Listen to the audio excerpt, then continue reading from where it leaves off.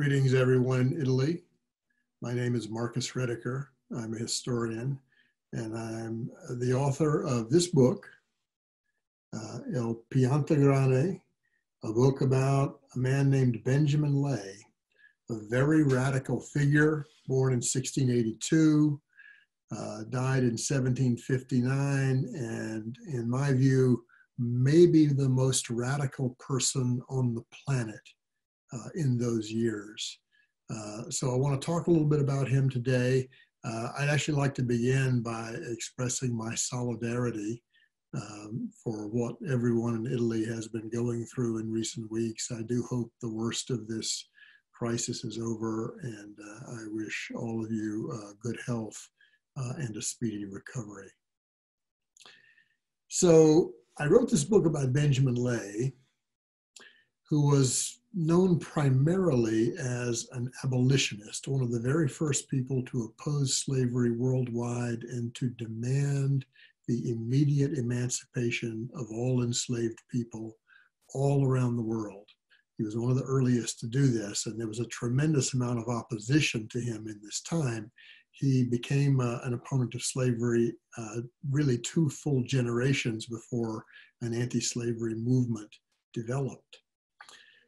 But Benjamin Lay is actually part of a larger story. And I want to talk to you a little bit about that in order to put him and his life in context. Uh, Benjamin Lay was uh, really uh, an, ex- an, extraordinarily important figure in a larger world of radicalism around the Atlantic in the 17th and the 18th centuries. Uh, and in talking about this, I want to summarize a couple of the ideas from uh, a book that I published uh, some years ago called The Many Headed Hydra uh, Sailors, Slaves, and the Hidden History of the Revolutionary Atlantic. Uh, this was co written with Peter Linebaugh. And in that book, we argued that the English Revolution of the 1640s and 1650s produced a kind of radicalism that was extremely important, not only for that time, but for all subsequent history. A group of religious radicals, they were called the levelers, the diggers, the ranters, the seekers, and also the Quakers. Benjamin Lay was a Quaker, although he was born later. These groups argued for an extraordinary array of really revolutionary ideas a vast expan- expansion of uh, democracy in the society. The levelers were big proponents of democracy. They called for a return of the enclosed commons to the people. The diggers actually recaptured the commons and began to plant them. They also opposed slavery, which to them meant not only racial slavery, but also uh, indentured servitude, the forced labor of people in armies and navies. Uh, they really stood for a, an extraordinarily broad array of, of very radical ideas. Equality, uh, communism with a small c, the idea that everyone should be cared for. Uh, these were ideas that were very, very common in those days. Now, this group of radicals suffered uh, defeat in 1660 when King Charles I came back to the crown, and they were then dispersed in defeat.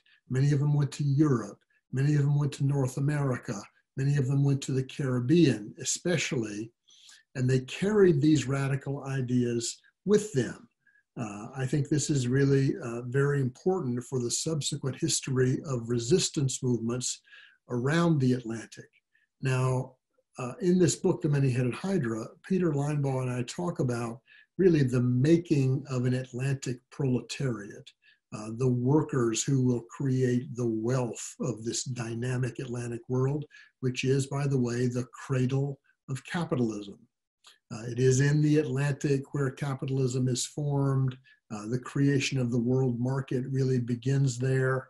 And so, what you have in terms of the workers making this wealth, you have a, a motley crew, you might say, of uh, enslaved Africans, of uh, European indentured servants, multi ethnic sailors and soldiers, convicts, market women, all kinds of people are really necessary to the making of this new capitalist system, which is genuinely international.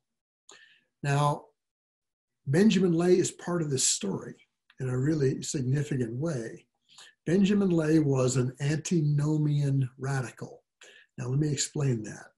The, the, the radicals during the English Revolution were antinomians, and by that is meant they did not recognize man made law as something they had to obey. Their thinking was rich people made these laws for their own protection, and we don't have to obey them. Now, there was a religious part of this because many of these people thought that they had a direct and democratic relationship to God and that they would obey what they understood to be God's laws, not the laws created by parliament or uh, kings or queens. Benjamin Lay inherited this tradition from the English Revolution, and he believed that none of the laws of slavery, made obviously by slave, slave owners, had to be respected or obeyed. So he thought that slavery should be abolished immediately.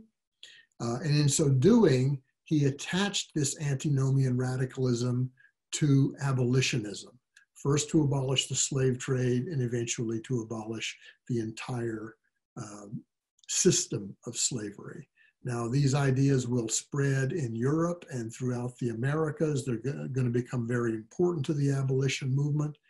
What Lay actually managed to do was to link the English Revolution to a later revolutionary era called the Age of Revolution in Europe, uh, including the American Revolution, the French Revolution, the Haitian Revolution, the Great Irish Rebellion, and many uh, moments of resistance throughout Europe and around the world. Uh, Lay is really kind of a linchpin, a connector that makes all of this possible. And Benjamin Lay, it turns out, is more radical than even his extraordinary stance against slavery would suggest. He was not only race conscious and believed in uh, immediate emancipation for all enslaved people, he was very class conscious. He had a great antipathy to accumulated wealth. He thought that was destroying uh, both Quakerism and society as a whole. Uh, he believed in gender equality. Uh, he believed that men and women were equal in the, in the eyes of God and should be equal in all other respects. And crucially, he was also environmentally aware and was known to say things like, Beware of rich men who poison the world for gain, for profits. He could see this happening in his own day in the early 18th century.